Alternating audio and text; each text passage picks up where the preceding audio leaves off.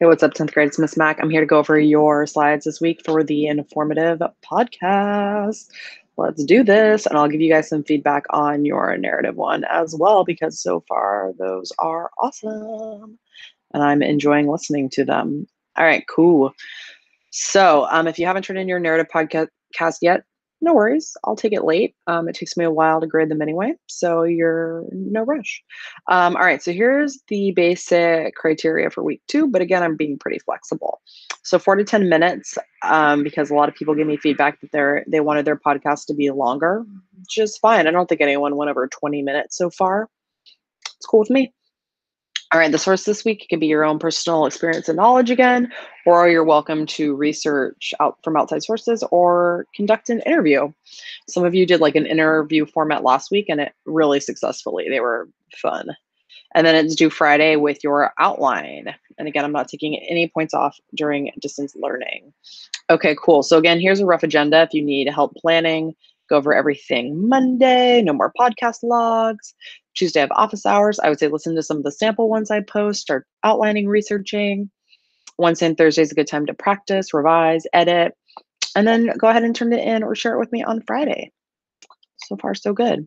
Here's some model ones. So this uh, series stuff you should know. The one I picked was why does time speed up as you age? I swear like really does happen. And then again, here are the Carlmont High School student samples on the Google Sites page that my old coworker provided if you want to look at any of those. Um, again, kids your age, so it's cool.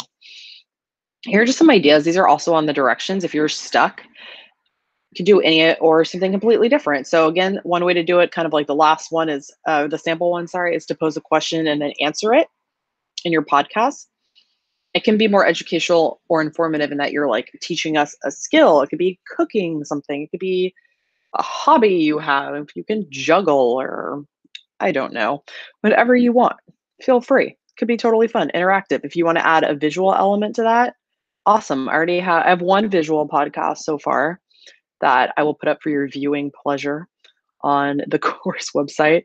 But that this could be a way to integrate that if you want, or if you just want to do voice, that's fine too some people asked me if they could take what they looked up for their research paper and turn it into a podcast. And that's such a great idea because you've already done the research. Like, why not? I should have suggested you do that with your narrative too, like based on your um, graphic novels in the fall. Yeah, use that information you already have, restructure it to teach us about your topic. That sounds fantastic. I was thinking even it could be like an AP exam review for the world history exam or the biology exam if you wanted, where you could like focus on a, a confusing topic that you all have to know and review, and you could do like a short podcast about that, like breaking it down for people, especially if you know that you're pretty strong in that area. Obviously, you need to be careful because if you teach your classmates incorrect information, then that's not cool. Um, but that could be a way to kind of study and do your work for English. I'm cool with that. And if you want to help, let me know. Uh, just some tips. Again, some of you are really liking the more narrative format. That's fine. Like you can learn things through stories. Um, so it can be more of a factual narration. Like I think of like nature shows, right? Where they like teach you about lions, let's say, but they like follow a family of lions. They're like, oh, Simba is going to get water and here's his friend, whatever. So it's like you're following the story of one family of lions, but like you're learning about lions in general. So like that's kind of like factual narration or like a way that you can teach through a story. That would be cool. And I would just recommend like to keep track of any sources that you use. You don't necessarily have to cite them in the podcast. Like if you heavily relied on a source that you feel like you need to give a shout out to, that's fine. But just make sure you put it in your outline for me. And if you're working with a partner, balance your speaking time and just it could be a little longer. That's fine. So far, everyone's been doing really well with that.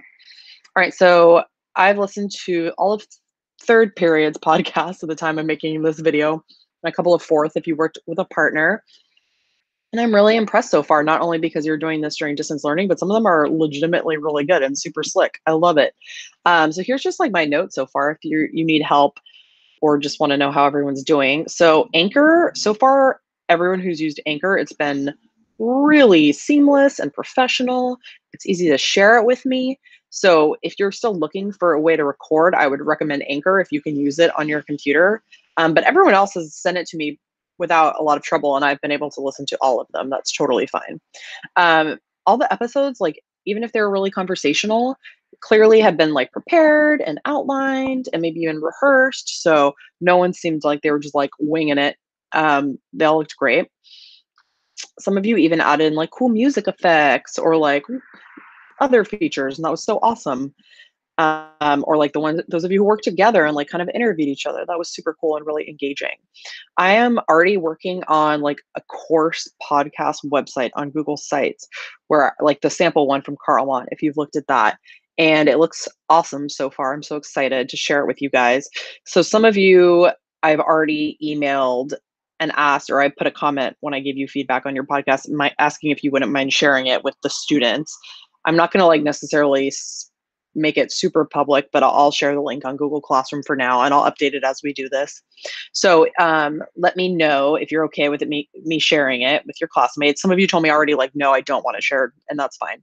Um, and then if you do want to have it shared, something to keep in mind is some of you don't have a series title. That's fine. But like, for example, Suzelle's, hi Suzelle, it's called The Weekly, or Jose is, is like, what is it, the Anton brothers, because he's doing it with his friend Anton. Um, so some of you already do have names. Otherwise, I just like made a name up for your series. Same with like episodes titles. I'll just call it episode one or episode two. But if you have a specific title, hit me with it. Um, or if you have like a picture that you want to use for me to use for like the icon, then you can send me that too. And when I send you the link, if you want me to change anything on the website, like the descriptions or the blurbs, then I'm, I'm happy to do that. But so far it looks really professional. And I'm so proud of you guys. You're doing such a great job. Keep it up. Let me know if you have any questions. Office hours are Tuesdays and Thursdays. Here comes a, bunch of sirens down York Boulevard.